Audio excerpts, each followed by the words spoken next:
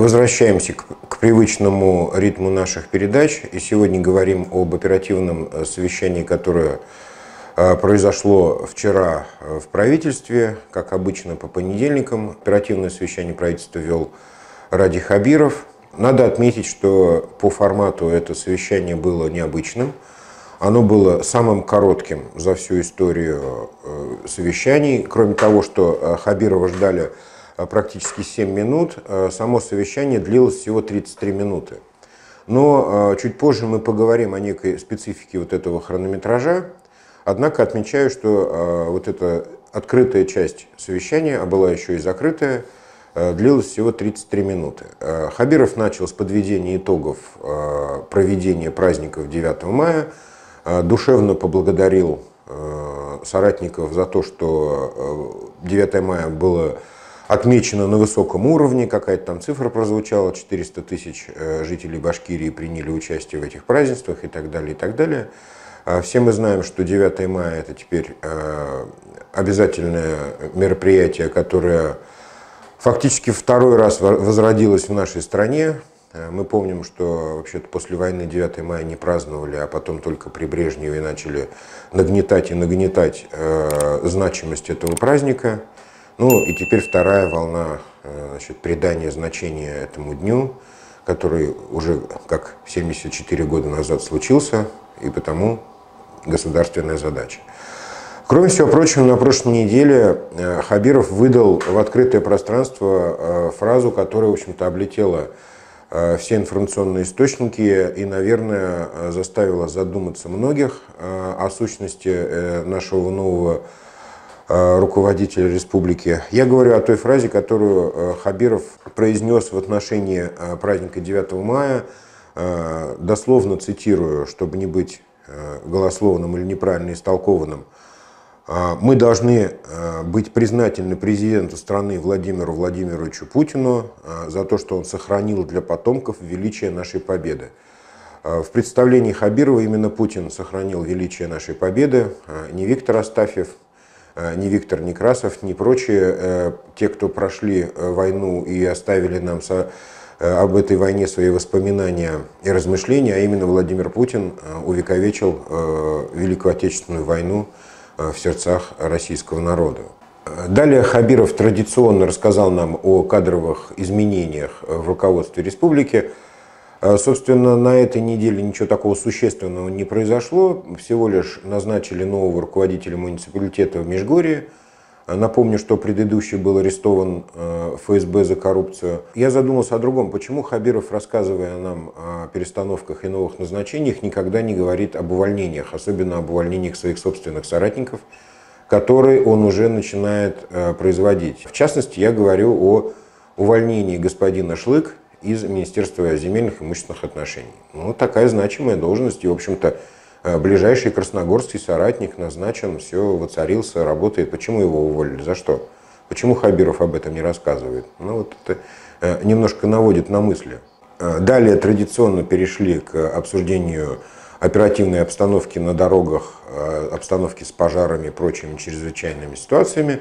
Как обычно об этом рассказывали господа, господа Мухаметьянов и Гумиров. А в целом за вот эти праздничные э, дни, конечно, э, в общем-то, статистика была не самая классная. 1600 пожаров, 16 погибших. Начались э, лесные пожары, 217 гектаров в Учелинском районе только загорелось. Упоминался этот знаменитый пожар в Благовещенском районе, который так напугал жителей Башкирии в праздничные дни. Там действительно какая-то картинка была совершенно а, апокалиптическая. Ну, в целом, то есть, скажем так, ситуация не хуже, не лучше. Э, рассмешил Мухаметьянов. Он сообщил, что э, он начал наносить 2500 э, километров термопластической разметки на дорогах, 6 тысяч километров там стойкими красками, как он выразился. Видели мы эти стойкие краски, они после первого дождя, значит, разлетаются по всей дороге. Ну, в общем, и, и со 2 мая Мухаметьянов начал наносить э, разметку э, по проспекту Октября в Уфе. Э, напомню, что в прошлые годы с разметкой, конечно, в Уфе было совсем плохо. И господин Мухаметьянов сейчас имеет эффект низкого старта, то есть, в принципе, если хоть что-нибудь нарисовать в центре города, то уже станет заметно.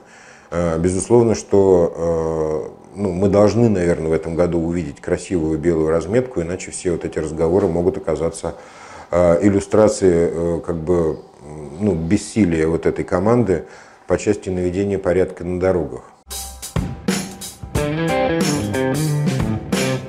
Сразу после вот этого текущего и скучного доклада о пожарах и разметке э, на оперативке началось интересное. Э, выступающим по первому вопросу э, был господин Файзрахманов, а вопрос был о ходе проведения весенних полевых работ. Господин Файзрахманов со свойственной ему бодростью и косноязычием доложил значит, о том, что в празднике он не сидел сложа руки, объехал он 26 районов Республики Башкортостан, посетил 150 хозяйств, а, идет он на две недели впереди графика, как он выразился, и посеял уже господин Фейзрахманов 1 миллион 200 тысяч гектаров зерновых культур. Ежедневно он засеивает, вот эту цифру прошу отметить ненадолго, 90 тысяч гектаров ежедневно он засеивает. Почему-то господин Фейзрахманов умолчал о том, что в ходе его героической борьбы с урожаем были э, потери техники, я имею в виду э, угробленный э, Land Cruiser 200, который он значит, в Куйргазинском районе потерял в ходе затяжных боев за урожай. Значит, но господин Фазрахманов отметил, что на полях не хватает техники. Хотя субсидии есть, дилеры есть, наличие есть, как он стал перечислять все преимущества нынешней ситуации. вообще, конечно, очень здорово было, зная вот эту его проделку с Курзаком, э, слушать его вот этот доклад.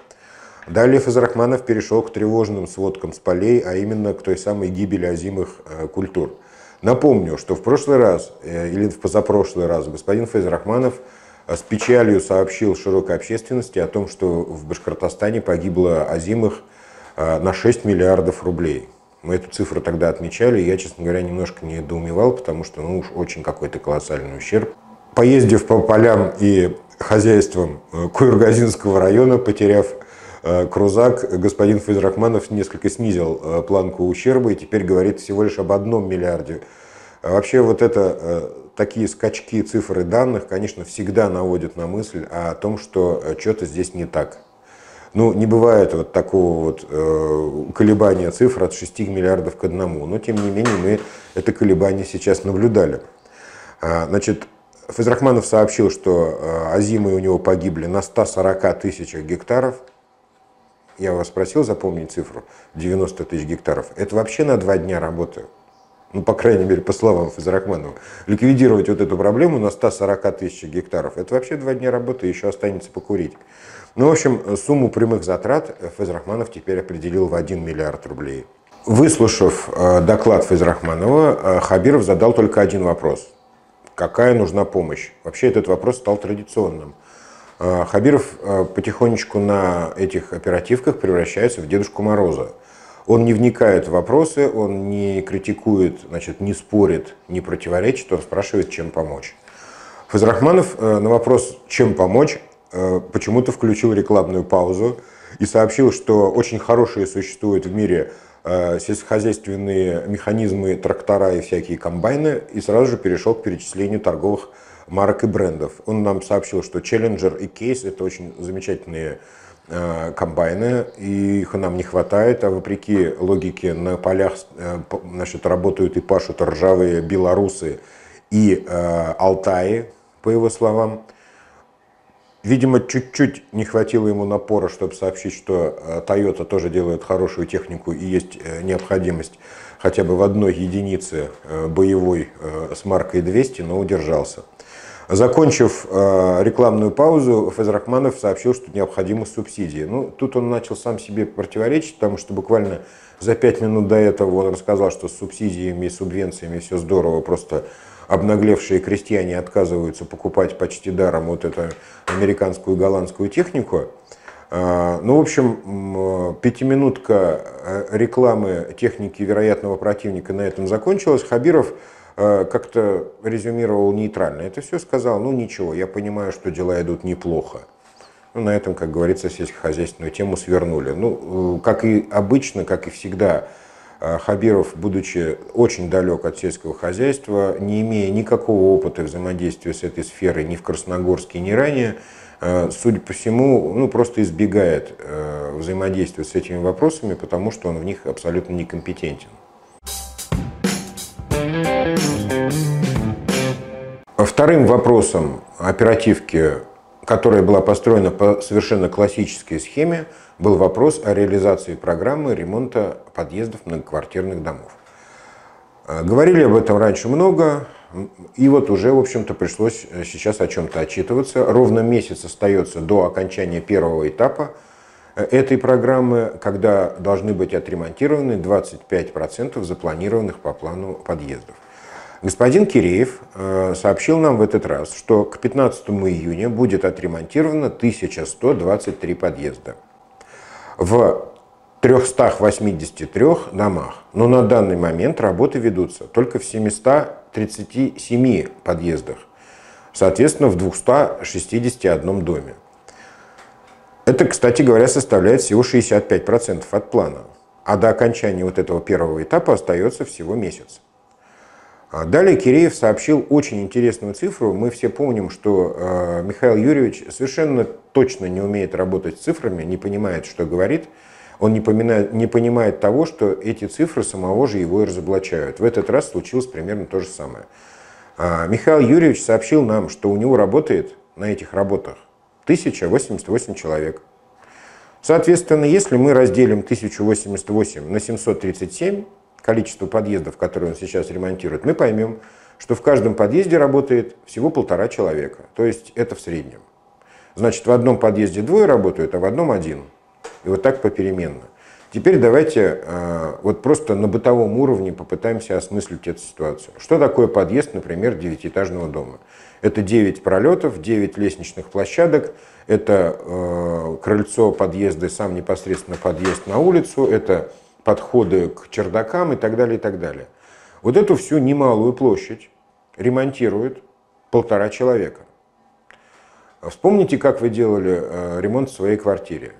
Ну, например, я вспомню, как я делал это в своей квартире. У меня, в общем-то, небольшая и не маленькая трехкомнатная квартира, ремонт в которой два месяца делали примерно 6-7 человек, попеременно там меняясь в составе и так далее. Как полтора человека могут отремонтировать один подъезд э, там 9, а то и 12-этажного дома значит, э, за всего лишь оставшийся месяц, непонятно. А, а это еще при учете того, что господин Киреев не приступил даже к 35% плана, который у него стоит до 15 июня. В общем, как я и говорил ранее, я повторюсь еще раз. Все программы господина Киреева очень сильно отдают э, неким э, фальсификатом, на самом деле, так мягко выразимся. Не будем пока это называть мошенничеством, то есть мы не суд э, и не прокуратура, но э, те цифры, которые сообщает Киреев, лучше бы он, как говорится, молчал. Они абсолютно не похожи на реальность. Что касается этих столбиков, их цены, э, скорости и количества их установки, я абсолютно уверен, что в том бюджете там 70% будет просто украдено про столбики. То же самое касается и подъездов. Ну как полтора человека могут отремонтировать э, подъезд многоквартирного дома? Никак.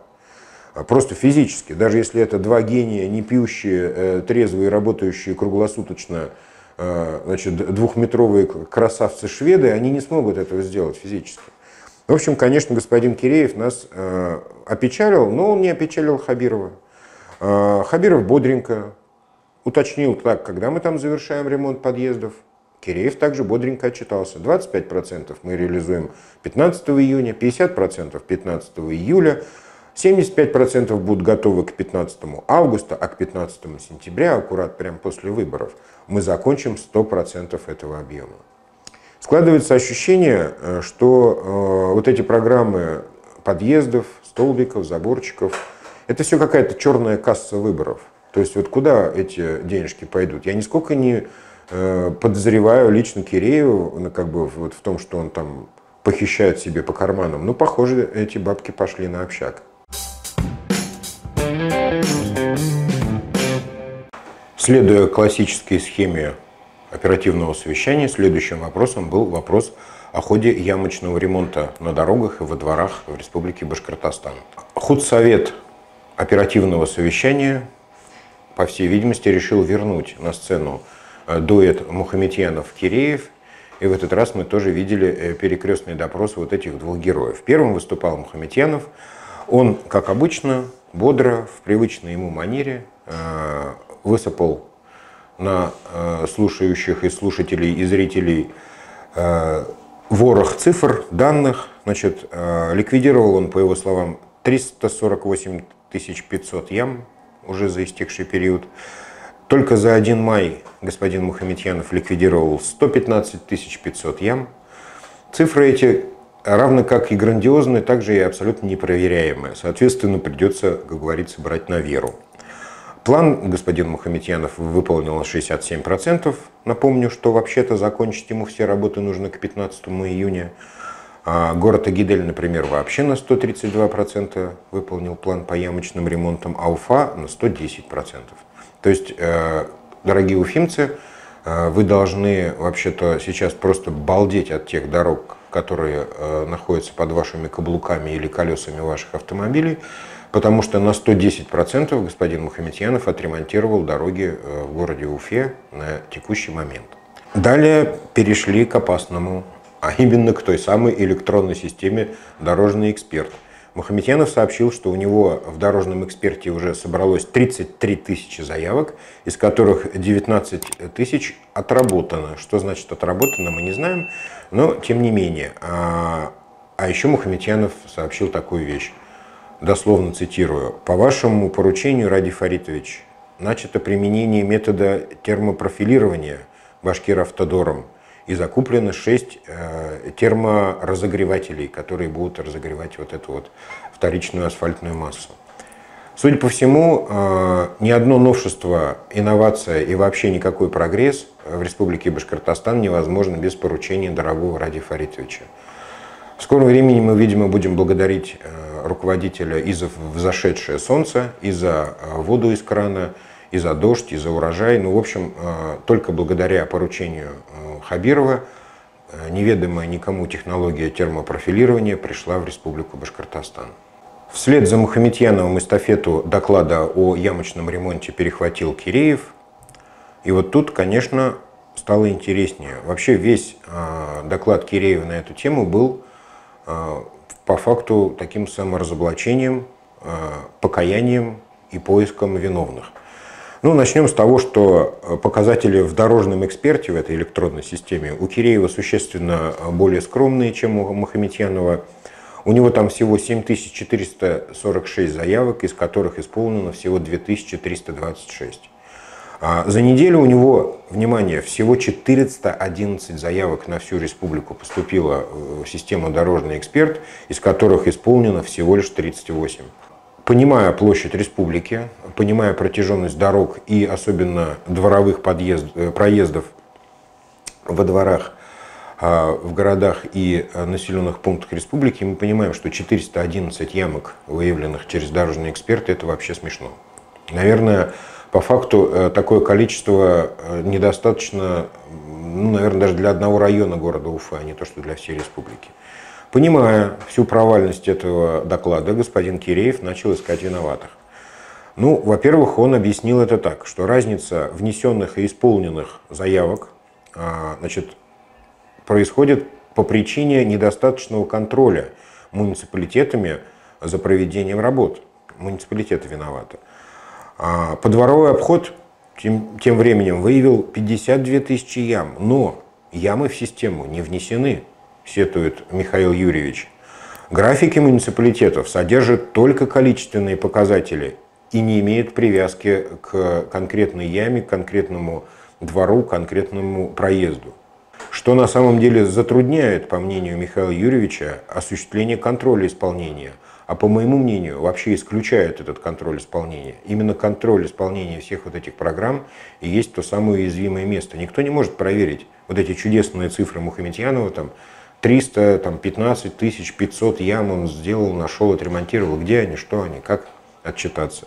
По количеству истраченного асфальта, ну, так его уже никто не посчитает. Ну, в общем, а, Киреев начал искать виноватых. Отмечается также низкая активность граждан. Эти негодные никуда граждане перестали интересоваться замечательной, чудесной электронной программой, которую кровью и потом э, создали господин Киреев и Мухаметьянов. А граждане безответственные и неблагодарные перестали фоткать ямки и вносить их в эту бестолковую программу. Киреев отмечает, что Бишбулякский, Мишкинский и Миякинские районы ни одной заявки за последнее время на ямы не разместили в этой электронной системе.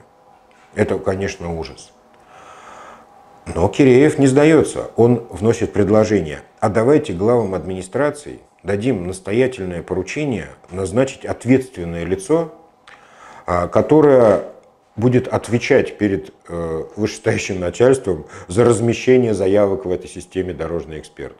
Но позвольте, ну не далее, как 2-3 месяца назад проводились эти красивые семинары, обучения, назначались ответственные. Прочаковская бегала с папкой и планшетиком, объясняя, как же нужно там вот эту фоткать, эту ямку, и как, куда ее там, значит, размещать и так далее. В общем, конечно, дорожный эксперт, вот эта система, информационная система, в которую граждане должны были вносить ямки, а власть должна была торжественно их ремонтировать, с треском провалилась. До сих пор непонятно, за чей счет э, была создана эта система, сколько она стоила. Помните, мы говорили, что выяснилось однажды на одном из совещаний, что э, нигде, ни в каком контракте, ни в каких конкурсах вообще создание этой системы не числится. Может быть, пора бы снова об этом поговорить? На какие деньги, за чей счет была создана эта программа, которая полностью сейчас дискредитировала себя и провалилась? Именно интерес населения к этой программе, а вернее полное отсутствие интереса населения к этой программе говорит о том, что э, эта программа потерпела полнейшее фиаско. Э, в окончании своего э, катастрофического доклада Киреев потребовал усилить информационную работу с населением судя по нулевому отзыву населения на эту программу, эта информационная работа не велась. Но так и хочется задать э, вопрос господину э, Мурзагулову, который скромно сидел и не отсвечивал на этом совещании. Ну а чем вы занимались? Где ваши вот эти, как там было сказано, баннеры, транспаранты, радио и телепередачи, вовлечение населения в этот процесс? Но если э, Мурзагулов не понимает по-русски, но можно этот вопрос задать и по-испански. Кома Ростислав, es un fracaso. Ну в чем дело вообще? Почему ничего не делается? Ну, собственно, уже, наверное, поздно, потому что сейчас снова вовлекать граждан в этот ямочный ремонт было бы глупо, потому что буквально через а, месяц он у нас должен быть закончен. По словам Киреева, на 11 мая он а, закончил 25% а, значит, ремонта ям в проездах между домами, во дворах и так далее. Осталось еще 75% и остался всего месяц. Ну, в общем, э, честно говоря, я, наверное, начинаю уже повторяться, но Киреев опять подтверждает свою неспособность хотя бы манипулировать цифрами. Хабиров выслушал весь этот доклад, и, в общем-то, реакция его была тоже э, привычной и традиционной. Он сообщил Кирееву с Мухаметьяновым, что периодически появляется информация, что ваша система «Дорожный эксперт» не работает – Люди нам сообщают, говорит Хабиров, что вот мы внесем яму в эту систему, она так и остается на месте яма, а в системе она отремонтирована. Что-то, говорит Хабиров, вас сбоит. То ли в головах, то ли в программе, предположил Хабиров. Ну, вообще, на самом деле, надо отбрасывать уже вот эти вот э, предположения. Реально-то, конечно, сбоит в головах. Э, программа здесь ни при чем. Она как была бестолковой, так и осталась бестолковой, сделанная на коленке за непонятные деньги. Ради Фаритович все-таки сделал э, предложение и попытался найти панацею решения этого вопроса. Несмотря на то, что он был спокоен, не кричал, не шумел, э, но тем не менее критически он значит, отозвался об этой программе, об этих значит, двух клоунах э, и попросил Мухаметьянова, здесь барабанная дробь должна быть, встретиться с общественностью, которая так сильно критикует всю эту систему и его работу, пройтись там по дворам, по дорогам, значит, причем Хабиров сказал так, вы встретитесь именно с теми, кто вас критикует. Дорогой Тимур Рафисович, вы знаете мой телефон и электронную почту. Пожалуйста, включите меня в число тех, с кем вы собираетесь встретиться по поручению Хабирова. Но если, конечно, хватит смелости. И, в общем, Хабиров дал поручение. Вы, говорит, сделайте такую историю, поводите людей по ямам. Может быть, они перестанут вас критиковать. Ну, в общем, конечно, вряд ли. А дальше на оперативном совещании случилось страшное. Хабиров сообщил, что теперь камеры выключаем и продолжаем в закрытом режиме.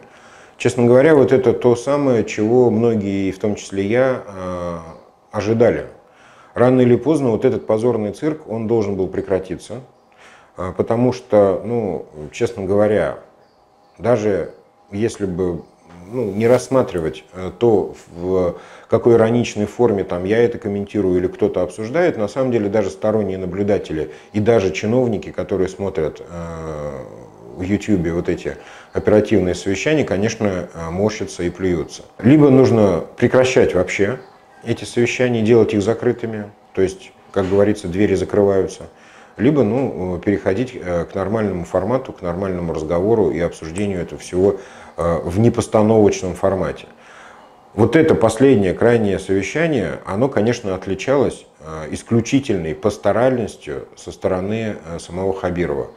Какие бы глупости ему не сообщали его подчиненную, на все говорил, ну хорошо, дела наши идут хорошо, все отлично. Это все очень сильно напоминало Хамитова, уже такого позднего, который очень хотел, чтобы все было хорошо и все время об этом приговаривал. То, что вторая часть совещания стала закрытой, ну, может быть, конечно, имеет какие-то причины. Возможно, они обсуждали какие-то стратегические моменты. Может быть, они обсуждали э, приезд Путина, о котором стало известно на прошлой неделе. Владимир Владимирович намеревается посетить э, Башкортостан в июле. Э, может быть, они говорили еще о каких-то секретных вещах, а может, просто сидели и хихикали, вспоминали веселые красногорские времена, как там Костик провел выборы а э, там э, Ростик, значит, там развел общественную палату, не знаю. Но э, сам факт наличия вот этих вот закрытых частей совещаний и то, что совещание правительства стало распадаться на две части, это, конечно, нехороший сигнал. Либо они устали, либо им надоело, я не знаю. На прошедшей неделе э, произошло событие, которое не связано с оперативным совещанием, но которое я не могу обойти своим вниманием. И говорю я о внезапной и совершенно непонятной э, поездке Хабирова на Донбасс. Формально эта поездка была связана с тем, что Радио Фаритовичу срочно потребовалось почтить память э, башкирского генерала Шеймуратова, который погиб во время Второй мировой войны и похоронен на Донбассе. А на самом деле, какие цели и задачи преследовал Хабиров, э, совершенно непонятно. Компания, в которую он туда ездил, э, была ну, дико токсичной на самом деле. То есть я уж не говорю про Поклонскую и вот, вот прочее вот это все э, сообщество людей, которое приехало на Донбасс, вот эти все какие-то суетливые обнимашки с Пушилиным, лимузины с флажками и так далее. Это все, конечно, мишура, надо понять суть, что произошло на самом деле. На самом деле произошло вот что. Губернатор, ну или временно исполняющий обязанности губернатора, крупная политическая фигура э, Российской Федерации, Ради Хабиров посетил оккупированную э, сепаратистами территорию сопредельного государства. Подобные действия, конечно, ну, никак не могут э, быть истолкованы как дружественный шаг со стороны там, и России, в том числе и Башкортостана, и самого Хабирова. Вообще-то не принято э, открыто поддерживать сепаратистов, а люди, которые удерживают власть э, в Донецкой и Луганской республиках, это де юра и де факто абсолютные сепаратисты, люди, которые пытаются отторгнуть часть территории э, от суверенного государства Украины. В общем, конечно, выглядит это все как-то ну, кошмарно на самом деле. Какого черта Ради Фаритович э, в эту историю влез, совершенно непонятно. Есть несколько версий и причин, ну, вернее, толкования причин вот этого э, весьма экзотического поступка.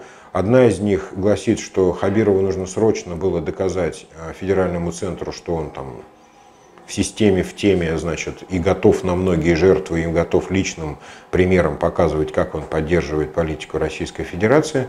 Не знаю, насколько это действительно было необходимо. А вторая версия – это то, что э, ну, как бы есть какие-то скрытые интересы там, между руководителями Крыма, там, госпожой Поклонской и вот этим вот э, странным э, сепаратистом Пушилиным. Я не очень верю в эту версию. И тем более не хотелось бы обсуждать версию о том, что Ради Фаритовичу срочно понадобилось попасть в санкционные списки, как некий признак доблести для российских политиков. Мы все помним, что Хабирову по семейным э, обстоятельствам приходится часто бывать в Западной Европе, и я не думаю, что он э, жаждет попасть в эти санкционные списки и потерять возможность общаться со своей семьей, со своими дочерьми. А, вообще, конечно, очень странная, нехорошая история, вот это вот э, визит на Донбасс, я не понимаю, о чем идет речь.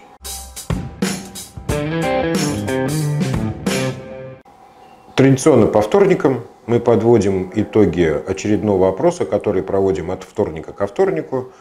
А, в этот раз опрос касался именно тех э, столбиков и заборчиков Киреева. Звучал он так, как вы относитесь к озабориванию городов э, Республики Башкортостан забором и столбиком Киреева.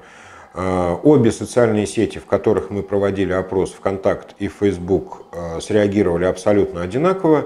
84,5% относятся к заборчикам Киреева крайне отрицательно и 15,5% относятся крайне положительно. Отмечаю, что господин Киреев а, набрал существенно больше, чем э, уровень медицинского обеспечения в прошлом опросе.